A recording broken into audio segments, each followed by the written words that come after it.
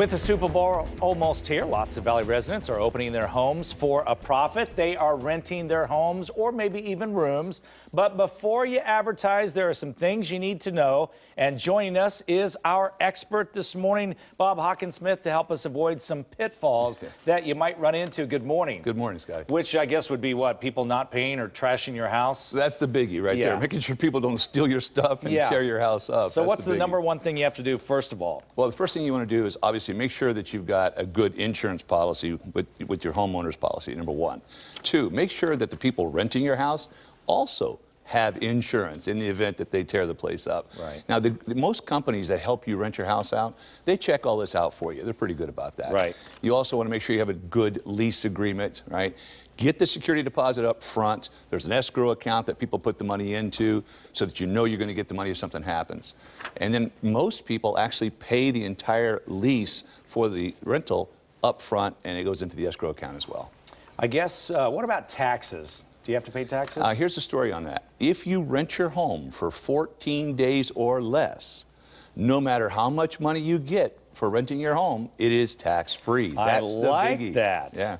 What else should you do just to make sure Well, that you- everything goes smoothly? Some of the things you want to do is make sure that in addition to the renter's insurance, that you have some type of a backup plan in case something breaks in your home. Because Right. obviously breaks do happen. Right. So if something happens, you want to make sure you can satisfy these people when they're renting the place. Right. Some people ask for a chef to be available. Some people ask for a pool to be available or Right. a car to Or be a available. maid. Or a maid, especially. Actually, that benefits you as a homeowner because you know your place is going to stay pretty clean. Exactly. And candidly, what some people do is they come in and clean the place themselves because that way they can see what's going on in the house. Good point. Yeah. Exactly. Now, would, would you meet with these people uh, before they actually take uh, the keys and possession? It depends on, on who's renting your property. If you're renting the property yourself, like you're going through vacationrentalbyowner.com or vrbo.com, yes, you would meet them yourself.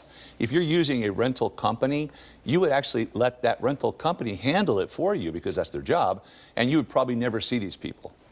What do you do if you do have some uh, valuables in your home? Obviously, you can lock some things up, but what if you have a game room with, you know, mem memorabilia, sports memorabilia, things like that? You just make sure that you have good insurance coverage. You know, there, a lot of insurance policies do not cover collectibles. Right. You know, like if you have, you know, an autographed picture of Muhammad Ali or, or Joe Right. Frazier or something like that, they don't cover that in your normal homeowner's policy. You have to get a separate insurance rider for valuables such as that. So the Super Bowl's over. You get your house back. Is it wise to go there before they leave to check out your house in front of them? Uh, again, that's usually what happens when the rental company rents for you. They will do that checkout inspection. If you are renting it for yourself, you know, through vrbo.com, then you, in fact, would do that because there is a security deposit still held in the escrow account that you're going to release once it's been checked. Right. All right. Well, we wish everybody the best of luck, and I and I and I think the the number one thing you have to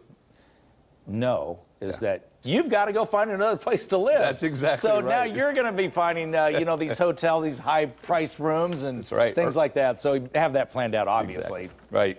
So don't call me. You can't stay at my house. I was going to just ask you that. I might want to stay at your house. Uh, so we'll see how things work out. Thank you so much, Bob. We appreciate. it. Good luck to you. Bet, Scott.